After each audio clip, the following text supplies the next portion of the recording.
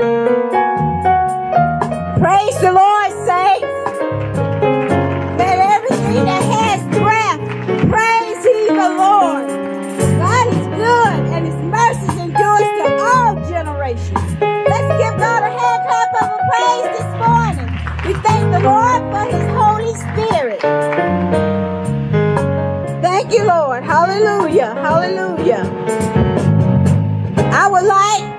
Thank you all for joining us for our revival on this day. We just ask the Holy Spirit just to have His way. And our radio station will be 88.7 FM. And if you would like to take your lounge chairs out, if you want to get outside, out of your car, or either if you want to sit in, just let the Holy Spirit have His way. Amen. We just welcome you to Rehoboth Baptist Church where Dr. Ivory T. Thigpen is our pastor. Amen.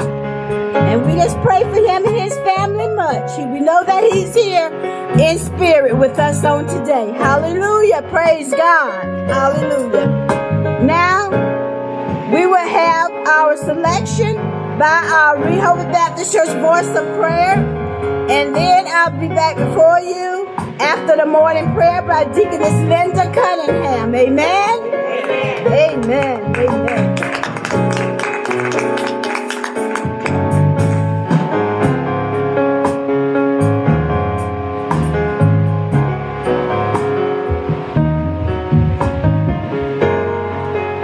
Amen. Y'all, we came to praise Him this morning. Y'all Amen. Amen. And join in and sing with us.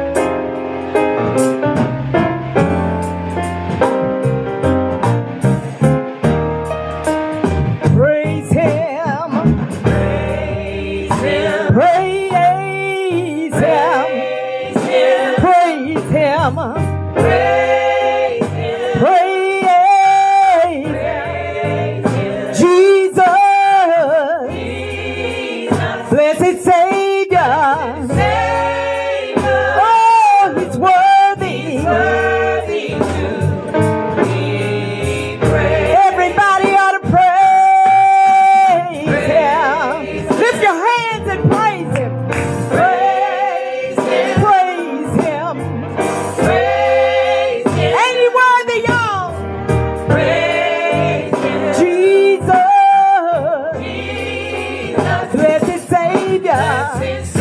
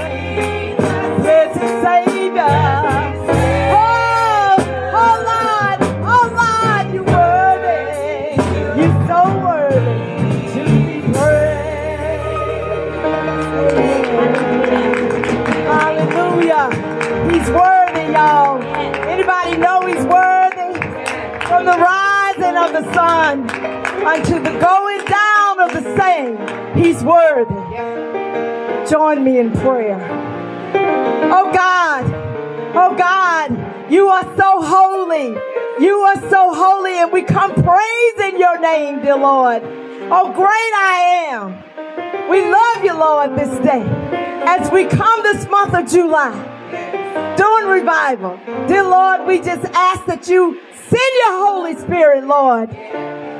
Spread it all around us. Those that are in the cars, those that are, are in the uh, viewers, dear Lord, Bless them. Guide them. Let them know that you are God. You are God, dear Lord. You are Almighty. You are Jehovah Shalom, Jehovah Rapha, Jehovah Nisi. Dear Lord, you have been our protector. You have been our provider. Lord, you're still our healer. Dear Lord, and we trust you and we give it all to you. Dear Lord, somebody here needs a healing today. And we just let them know that you are in the midst and you are the greatest doctor there is, dear Lord. Somebody needs a breakthrough. Somebody needs a financial blessing, dear Lord. But whatever they need, dear Lord, let them know. Let them feel your presence today, Lord. Let them know that you are God. Dear Lord, help us to be that beacon of light. That beacon of light in a world that needs you more than ever before. Dear Lord, we need your presence. We need your peace. Dear Lord, we need your love. Help us to be kind and loving towards one another. Dear Lord, bring us together in unity and help us stand strong no matter what Satan sent our way, dear Lord. Knowing that you're still on the throne. You're still our God, dear Lord. And we trust you and we love you, dear Lord. And we ask for you just to dwell among us this day, dear Lord, as we come to celebrate you on this Holy Communion Day, dear Lord, doing this in remembrance of you. Dear Lord, we ask that you add a special blessing to all the ones at the sound of my voice and the families of those at the sound of my voice. We ask a special blessing for the speaker today, dear Lord. Give him a word from you. Dear Lord, bless his family. Dear Lord, hide him so that we can hear you speak through him, dear Lord. He is a powerful man of God. He is your servant, dear Lord, and we bless your name for him today. We ask for a special blessing for our pastor and his family, dear Lord, in his travels. Dear Lord, we just ask for a special blessing for the uh, the um, leaders of this church dear Lord. There are some of us who are sick. There are some of us who are just being released from the hospital. Dear Lord, I'm, I'm not going to call any names because you know who they are. And I don't want to leave anybody out. But praise God that they know you. And I ask for a special blessing, a special healing. Let them know that you got this. No matter what may be going on, you got this. And Lord, we praise your name. We praise your name because we know we do. Help us to trust more, dear Lord. Thank you, Lord, for your faithfulness and help us to be more faithful. Dear Lord, you are all that I ever been, all that I'll ever be. I owe it to you, dear Lord. And we ask, we give all the honor, all the glory, and all the praise just to you, dear Lord, because you're so worthy of it. You so deserve it. In the precious, precious name of Jesus, I pray. Amen. Amen.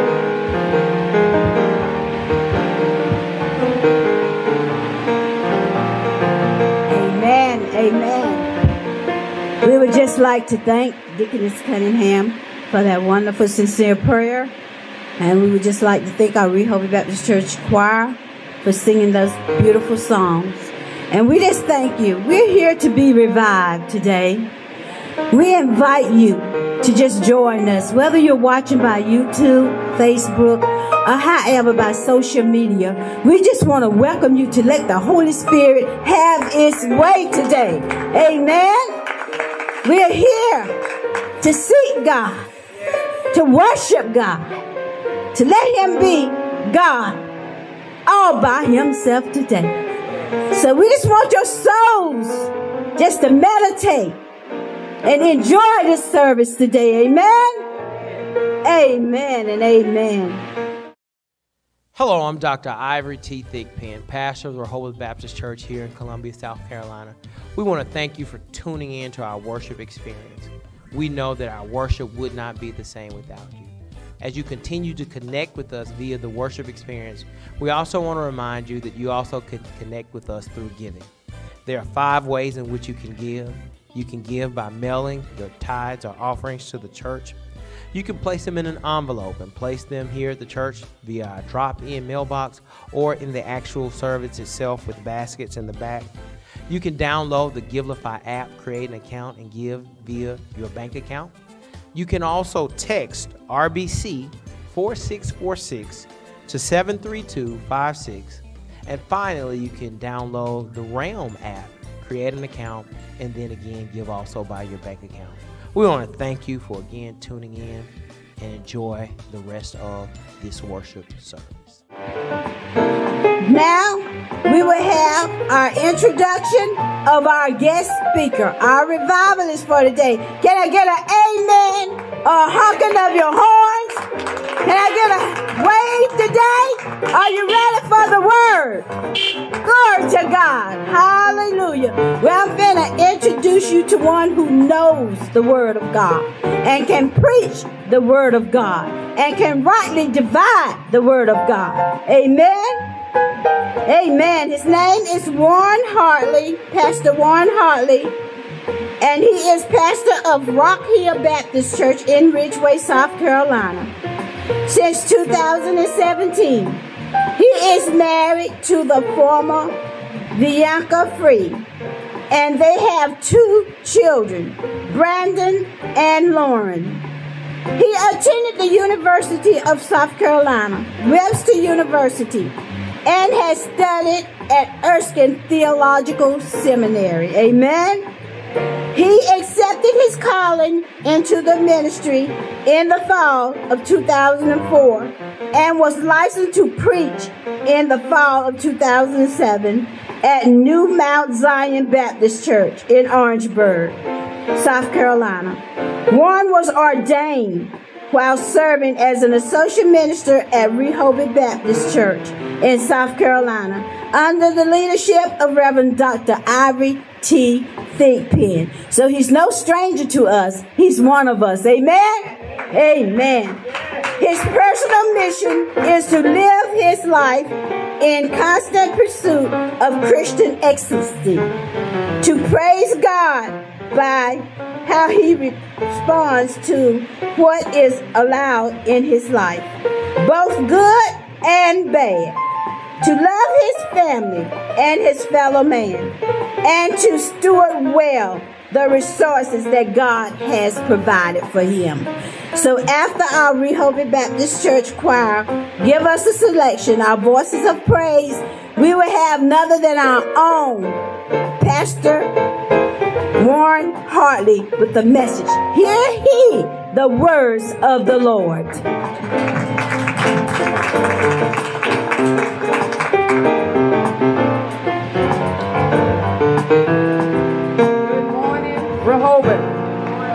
Good morning, Rehoboth. Once again, I am glad to be here this morning. We've had so many earthquakes, whether you felt them or not. We had them. But God is still in control. I don't know about you, but Jesus is my rock. We ain't gonna make nobody mad but the devil. So if you all can help me sing this song, again, let's make the devil mad. Oh, Ezekiel said he saw him as a wheel in the middle of the wheel. John talked about him in the book of the seventh seal. Some call him the rose of Sharon, others call him the prince of peace.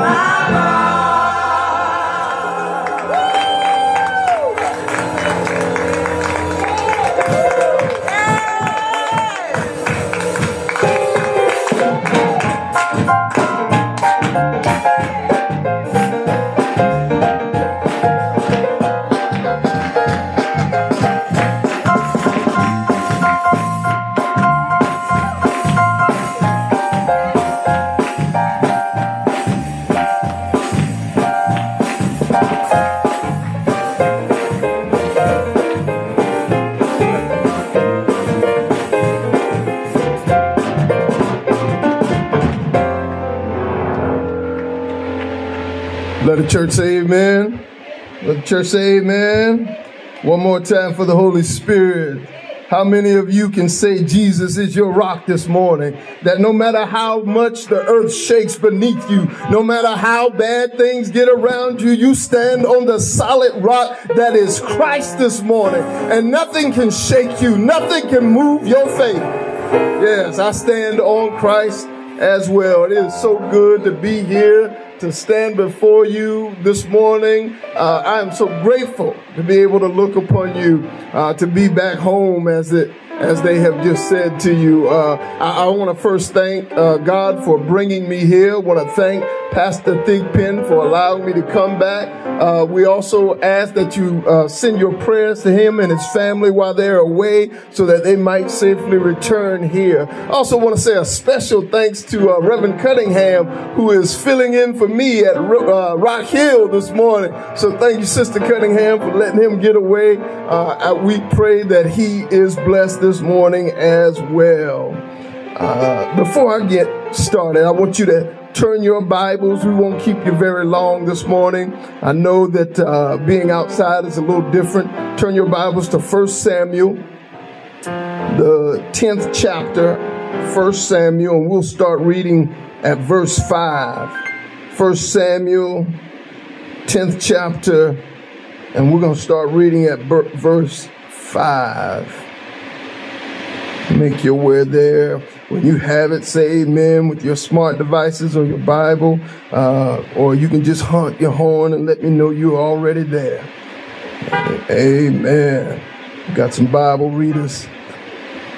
First Samuel chapter 10, New English, New International Version this morning for your hearing. We will read from there to verse 9.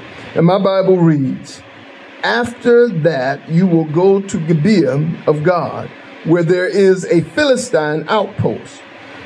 As you approach the town, you will meet a procession of prophets coming down from the high place with lyres, timbrels, pipes, and harps being played before them, and they will be uh, they will be prophesying. The prophet, the spirit of the Lord will come powerfully upon you, and you will prophesy with them, and you will be changed into a different person. Once these signs are fulfilled, do whatever your hand finds to do, for God is with you. Go down ahead of me to Gilgal. I will surely come down to you to sacrifice burnt offerings and fellowship offerings, but you must wait seven days until I come to till I come to you and tell you what you are to do. Verse 9. As Saul turned to leave Samuel, God changed Saul's heart, and all these signs were fulfilled that day. Let us pray. Father God, we pray right now that you will come in with us, that you will uh, work your power in us, that we might have ears to hear, a mind to do, and that we might receive all that you have for us on this day, and that we might follow this message with doing your work and your will. And may the words of my mouth and the meditation of your, my heart be acceptable in your sight. In Christ's name we pray all of God's people say, Amen. Amen. This morning I want to preach from the topic transformed for a new assignment. Transformed for a new assignment. So this morning we come to this 10th chapter in 1 Samuel and we see Saul who is to be king of all of Israel. His father has misplaced, lost some donkeys. And so Saul is sent out with a servant that he might find the donkeys. And so Saul is diligently searching for the donkeys, but he has not, he is not having success. Uh, but little does Saul know that his assignment is not just looking for donkeys, that God has a greater assignment for him. He has a greater assignment for him. And, and this assignment that might appear to be mundane, one, one that, that we may not even want to do, this assignment is one that God has put him on so that he might walk into the promise that he has for him. How many of you know that everything that you do every day, it leads you a little closer to what God wants you to be? It leads you a little closer to who God wants you to be. But you have to be transformed before you can do the work of God. And so God is working on Saul and he is bringing him and he will meet somebody who will guide him to where he needs to be. And that's where Samuel comes in. And so Saul uh, is going looking for donkeys and Samuel is talking to God. Don't you know that somebody is talking to God on your behalf right now? Don't you know that somebody is being uh, blessed so that they might be a blessing to you? Don't you know that you are being blessed so that you might be a blessing to somebody else? We ought to always be willing to bless somebody. We ought to always be willing to do the will of God. And so Samuel and Saul will meet and God's plan will come into fruition. But before it can happen, Saul needs to be transformed.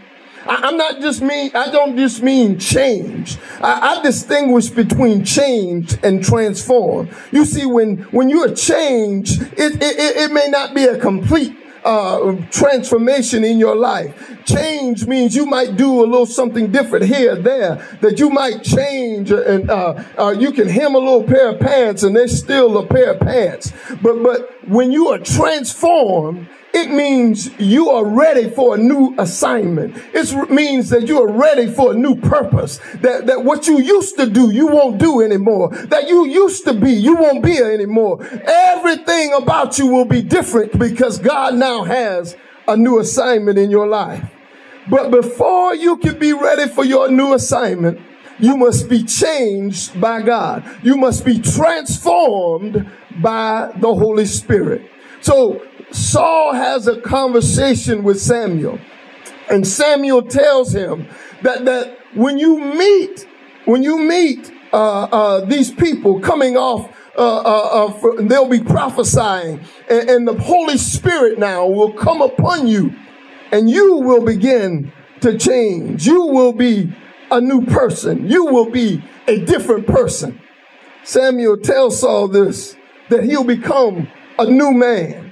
In other words, the Spirit will change Saul's character. The Spirit of God will change his character.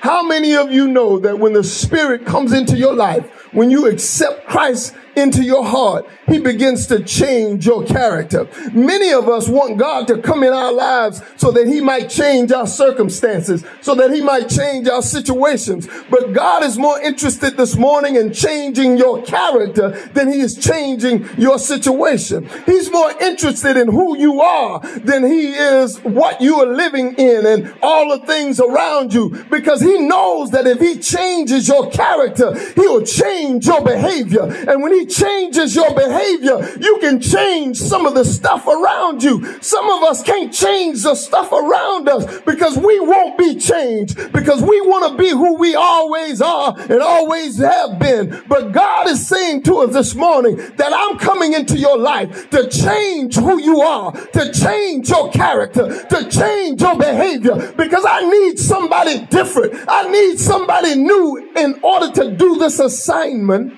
Saul has to be transformed. In order to do your assignment, you have to be transformed. Yes, when God enters into your life, when the Holy Spirit comes, He will transform you, not only your character, but your behavior, so that now the things you used to do, you no longer do anymore. The, the, the things you used to say, you don't say anymore. When, when you're at the grocery store and the clerk makes you mad and you want to, you want to lay down your religion. You want to say stuff that doesn't come out of your mouth in Sunday school. God will put peace on you. God will put a, put a hold on your tongue so that you might come forth with the blessings of God instead of the, the, the things of the world so that you might bless them and encourage them so that you might be who God called you to be. Yes, the Holy Spirit will transform you in those moments where you want to be somebody else, where you want to act like somebody else, where God needs to be able to use you to make sure that people are able to see Him. So, what else does the Holy Spirit do when it comes into your life? When it transforms you into a new person, it also changes it also changes your heart. The Holy Spirit, when He comes into your life, He changes your heart. So when Saul turns to walk away and, and, and, leave Samuel after their conversation, after Samuel has prophesied over Saul's life, when he turns to walk away, the Bible tells us in verse 9, it says that Saul now has got a new heart. In other words, your heart must be transformed before you begin the work of God. So God's spirit now moves in Saul's heart so that Saul's desires becomes what God wants them to be. Your desires need to be God's desires. Too many of us, we want God to fulfill what we want. We want God to do what we want to do. I, I, at the end of the day, your heart must be in line with God. Your heart must be poured out for God to fill it up so that everything you think is in line with the word of God. So that all of your prayers are in line with the word of God so that all of your deeds are in line with the word of God. And that doesn't happen until your heart changes because out of the heart comes all of those things that we need God to do in our lives. All of those things that he desires for us to do. So he needs to fill your heart with his word. He needs to fill your heart with his promise. He needs to fill your heart with his power so that you can live like he has called you to live. To the kingdom of God, uh, the heart is, is, is our seat of emotions. It is where we, we, we, we, we think, breathe, and do all of the things that, that God pours in us. And so God needs to give you a kingdom heart. How many of you this morning have a kingdom heart?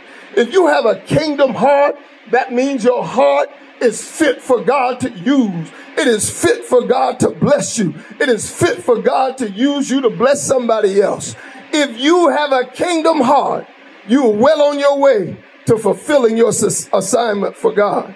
Saul cannot lead God, leads God, lead God's people until his heart is transformed. You cannot do God's will until your heart is transformed. Some of us need to get rid of our old hearts. Some of us need to pour out what's in there and let God fill it up with his love, with his joy, with his peace, with his desires. Has your heart been changed this morning?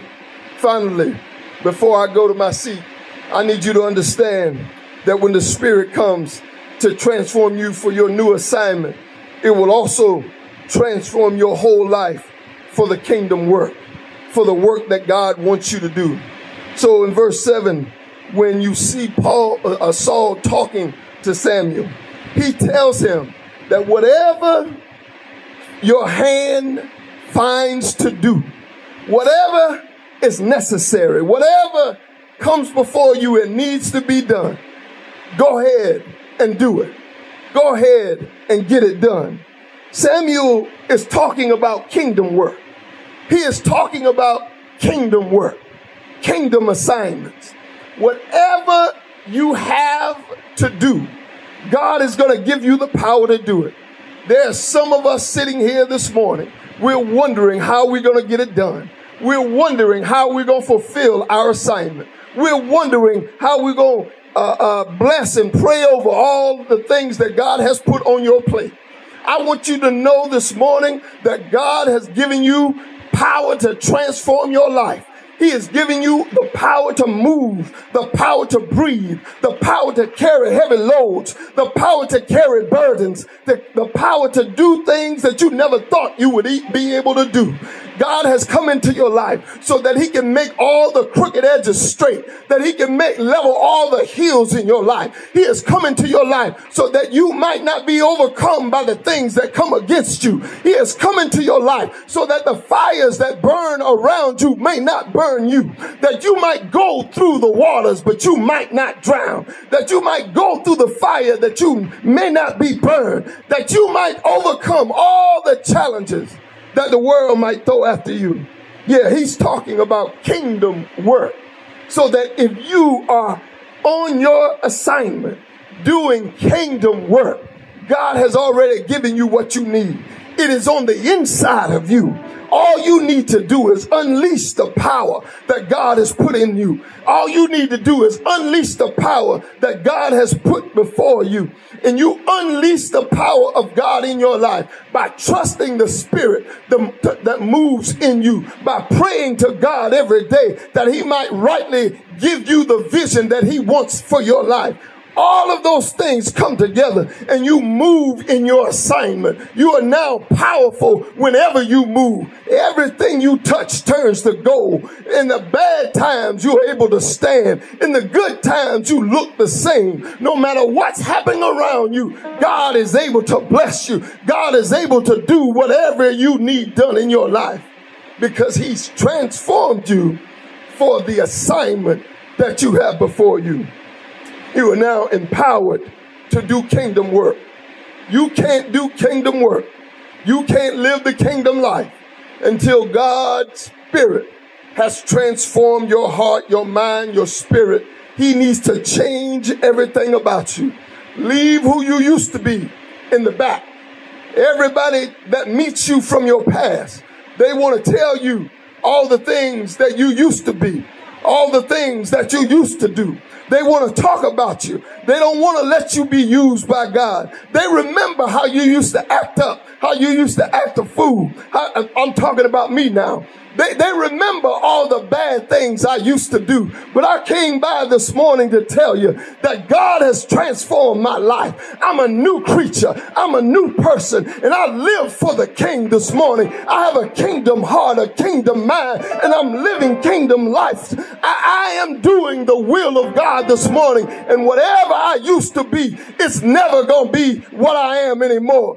Everything that I am, I stand on the word of God. Everything that I am, I get from God's power. Everything that I might be. And y'all, I'm not perfect, but everything that I am, I am because he lives in me. He lives in me. And I want you to know he lives in you. And if Christ lives in you, the Holy Spirit will guide you. The Holy Spirit will give you exactly what you need to be who God has called you to be.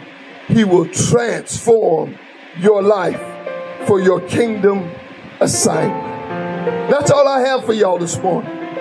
If you have your assignment, you ought to go do the work of God this morning. If you have your assignment, if you have not received your assignment, I need you to ask God right now for what it is He needs for you to do, for who you He wants you to be. And I promise you, He will answer that call this morning. He will bless you with your new assignment, and He will transform your heart and your mind so that you might fulfill every word of your destiny. Let us pray. Father, thank you right now. Thank you for this word. Thank you for who you are. Thank you for blessing us, oh God, as only you can. We thank you for filling our hearts and our minds with your word and your power.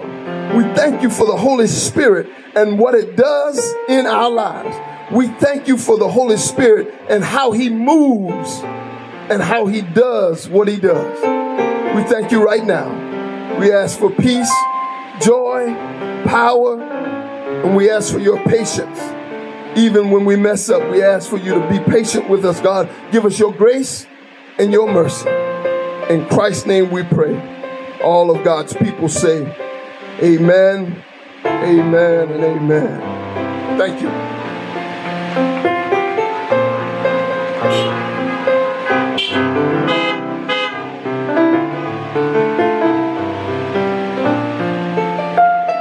Did our hearts not burn?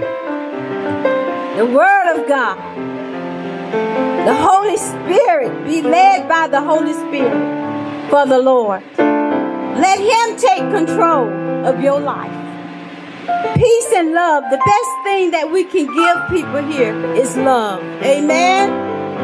Because God so loved the world that He gave His only begotten Son. So whoever believeth in him and know that God raised Jesus from the dead, then thy too shall be saved.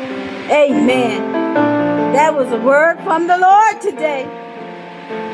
He's talking to me, he's talking to everybody. Don't go back to what you used to be and what people say that you might. But hear the voice of the Lord and let him lead and guide your life. You know, he can change. He can change you. He can. I'm a truly witness. You won't do everything like you used to do. Everything becomes new and different. So be guided by the Holy Spirit. Amen. Now we will get ready for our communion. Amen.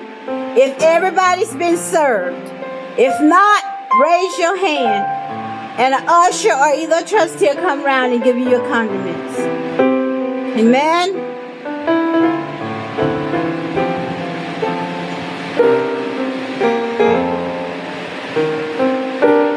Everybody's been served. If not, raise your hand and someone will come around and serve communion.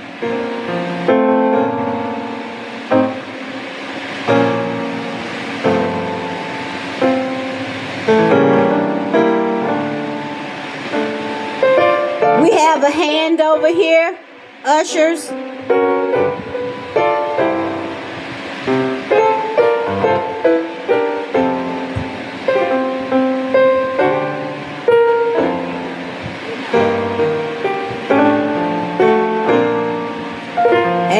Amen. We'll wait until everybody be served.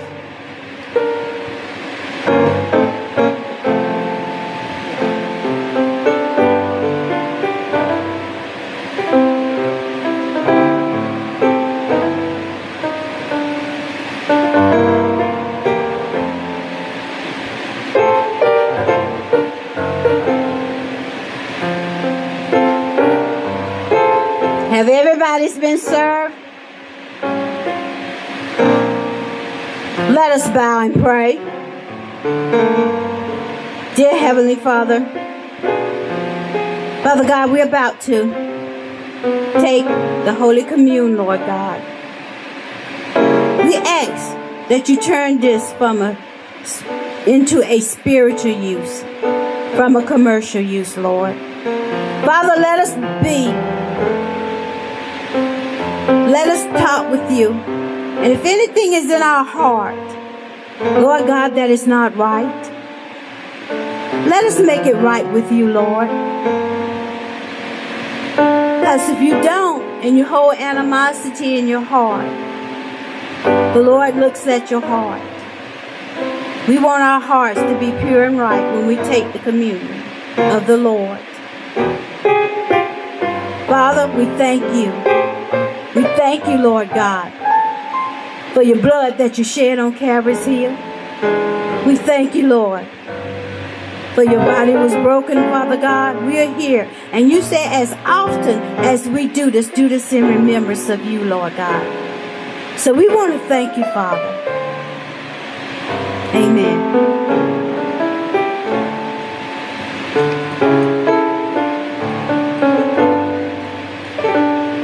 And on that profession, as he taught, he said, Take he the bread and break it and eat all of it. This represents my broken body.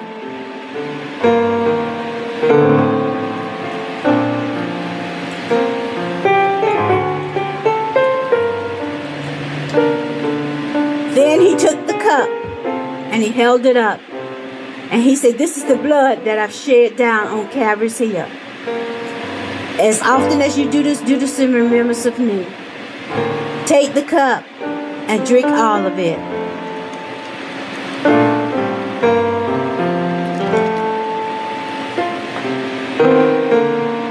And this represents his blood that he shed on Calvary's Hill. Now that we finished communion, this is the end of it. We want to open up an invitation to Christ. We want you to come and be led by the Holy Spirit. We'd ask if anyone needs prayer. However, you can come to the front and we'll pray with you.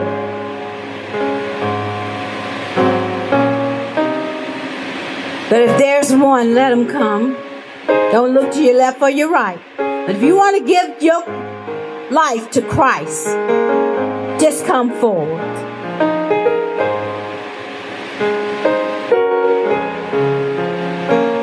And if you have any sickness in your body or you know somebody, and I know we all know somebody that's sick, you can get out your cards and come forward and we'll pray with you also.